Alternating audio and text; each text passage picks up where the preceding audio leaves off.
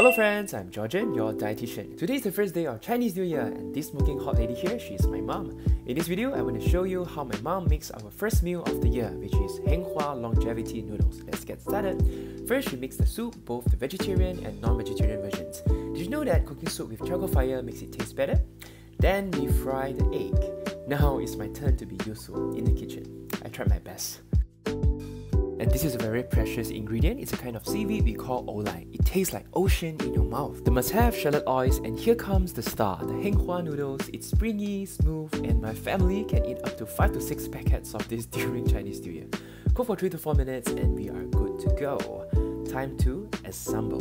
First, the Heng Hua noodles which have already been mixed with shallot oils. We then have egg, chicken and mushroom stew, olai, and lastly, fried shallots. We are done! Tasting time! Delicious. Please follow and subscribe for more. Bye!